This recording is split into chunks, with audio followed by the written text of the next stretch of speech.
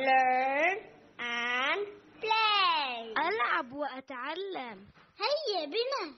السلام عليكم ورحمة الله وبركاته. درس دوم تو در کدام عقیده هستی در عقیده أهل سنت و جماعت هستم. جاهلیت چیست؟ اما آن چیزی که خلافی کتاب و سنت است. جاهلیت نامیده می شود احسان چیست؟ احسان آن است که الله را طور عبادت بکن که گویا او را می‌بینی. و اگر تو او را نمی‌بینی یقین بدان که او تو را می‌بیند. ایمان چیست؟ ایمان گفتن با زبان اقرار نمودن با قلب و عمل کردن با اعضا و ایمان با طاعت زیاده گشته با معصیت کم گردد. ارکان ایمان چند است؟ ارکان ایمان شش است. آیا ایمان زیاد و کم می گردد بله با طاعت زیاد گشته با گناه کم می گردد شاخه های ایمان چند هست شاخه های ایمان شست و چند و یا هفتاد و چند شاخه دارد اعلامترین شاخه ایمان چیست؟ قولی لا اله الا الله. پسترین شاخه ایمان چیست؟ دور کردن چیز از ضرر رسانها از راه. بعضی از شاخه های ایمان را ذکر کنید.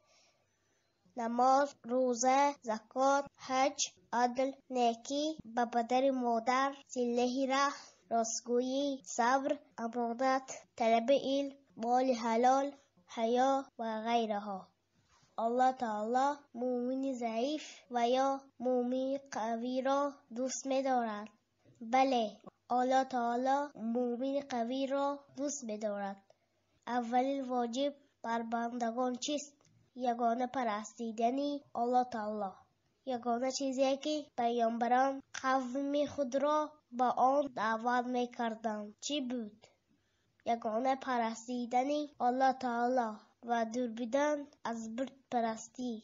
اولیاهای الله تعالی کیستند؟ آنهایی که ایمان به الله آورده خداتر شدند.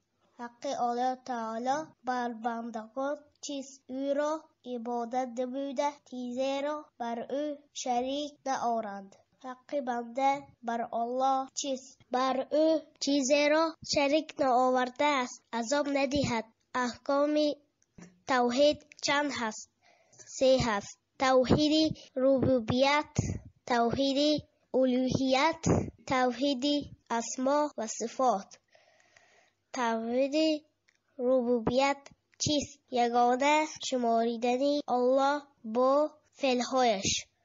و مثل اینکه الله آفرنده رزق دهنده زنده کننده میراننده و اداره کننده تمام کائنات است. توحید الوهیت چیست؟ یگانه شماریدنی الله бо афъоли бандагонаш аст ва мисли ягона шуморидани аллоҳ дар ибодат.